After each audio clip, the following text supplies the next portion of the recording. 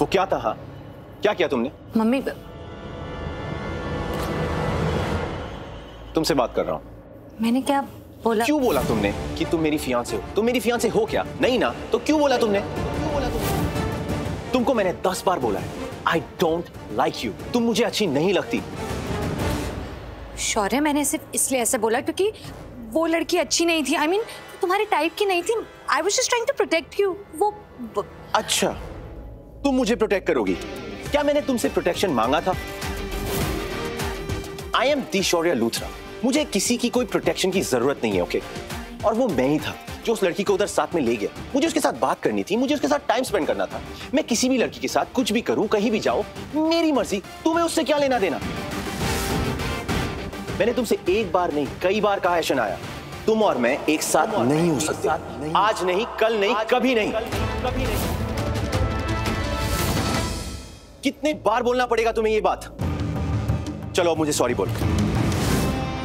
वैसे कोई फ़ायदा है नहीं, क्योंकि तुम्हें तो रियलाइज़ होगा ही नहीं कि तुम, तुमने किया क्या है। तुम क्यों सॉरी होगी मेरे लिए? अगर नेक्स्ट टाइम तुम मुझे कोई लड़की के साथ देखती हो तो मुझे बिल्कुल डिस्टर्ब मत करना। मेरे आसपास भी नज़र मत आना। I hope you get that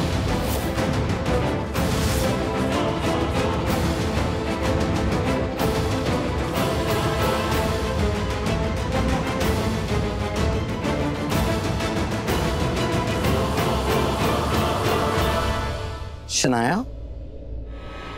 कुछ हुआ क्या? तुमको मैंने दस बार बोला है।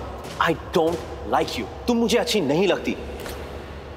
नहीं कुछ नहीं वो बस शौर्य को मेरी किसी बात पे गुस्सा आ गया तो बस दैट्स इट कुछ नहीं। ओ शौर्य को तुम्हारी किसी बात पे गुस्सा आ गया?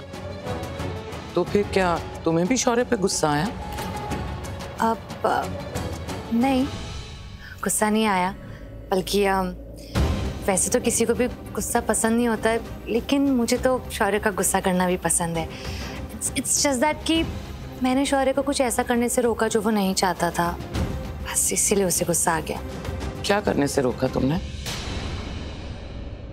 एक्चुअली वो शौर्य इसलिए गुस्सा कर रहा है क्योंकि उसने मुझे बोला है कि मैं बड़ी मॉम को जल्द से जल्द इम्प्रेस करूँ उनके दिल में अपने लिए जगह बनाऊँ ताकि आप सब शौर्य को फोर्स करें कि वो और मैं आई I मीन mean, हम दोनों की जल्दी से शादी हो जाए।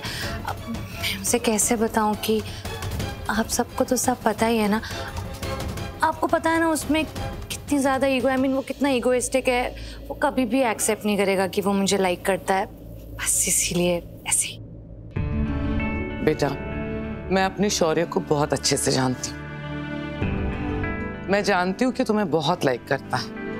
और भाभी भी ये बात जानती है। लेकिन शौर्य के बारे में एक बात बताना चाहती हूँ मैं तुम्हें। मेरा शौर्य ना, बहुत शर्मिला है, बहुत ईगोस्टिक और बात बात पे गुस्सा आ जाता है उससे। तो तुम्हें उसे हैंडल करना आना चाहिए, तुम्हें सीखना होगा हम्म?